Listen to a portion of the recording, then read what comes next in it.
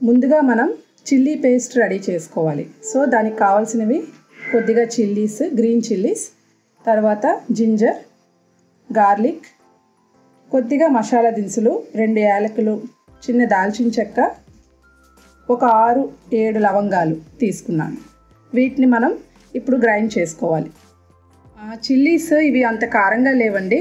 So నేను కొద్దిగా ఎక్కువగా తీసుకున్నాను. బాగా కారంగా ఉంటే మీరు కొంచెం తగ్గించుకోవచ్చు చిల్లీస్. అంటే ఒక ఫైవ్ టు సిక్స్ చిల్లీస్ అయితే సరిపోతుంది.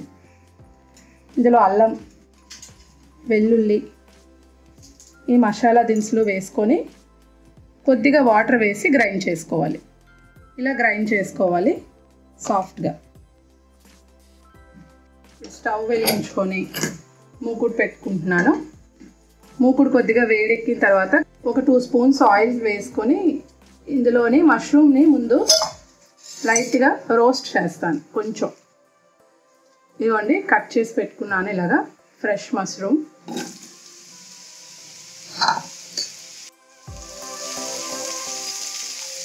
లైట్గా రోస్ట్ చేసుకోవాలండి. కొంచెం పచ్చివాసన పోతుంది అప్పుడు ఒక వన్ టు టూ మినిట్స్ చాలు. ఎక్కువసేపు వేపకూడదు. ఇది దగ్గర దగ్గర ఒక టూ హండ్రెడ్ గ్రామ్స్ ఉంటుందండి ఈ మష్రూమ్.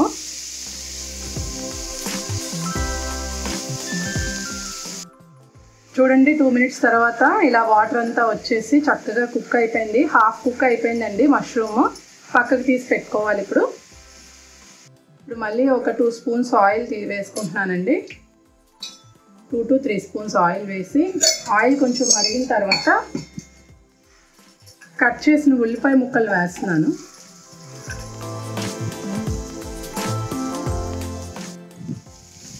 ఆనియన్స్ కొద్దిగా బ్రౌన్ కలర్ వచ్చే వరకు చక్కగా ఇలా కలుపుకోవాలండి. ఇప్పుడు ఇందులో ఈ గ్రీన్ చిల్లీ పేస్ట్ని వేసుకుంటున్నాను.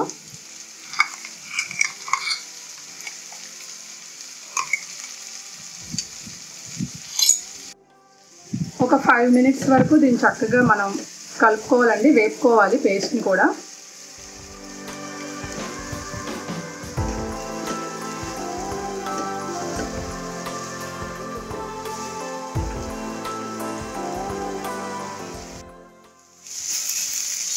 ఫైవ్ మినిట్స్ తర్వాత చూడండి చక్కగా బ్రౌన్ కలర్లో అలా రోస్ట్ అయింది.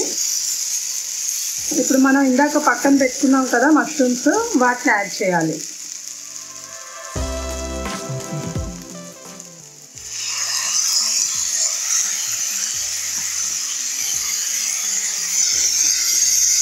చక్కగా కలుపుకోవాలండి.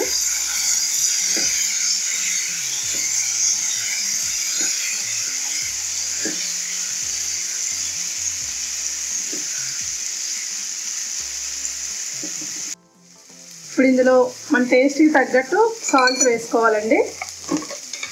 అలాగే కొంచెం పసుపు కూడా వేసుకోవాలి.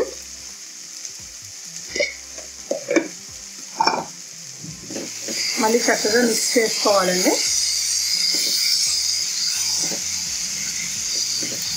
చేసుకొని ఒక ఫైవ్ మినిట్స్ మూత పెట్టి ఉంచాలి.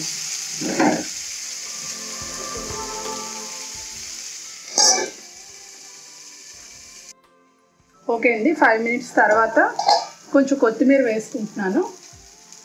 కొత్తిమీర వేసుకొని మిక్స్ చేసుకుంటున్నాను.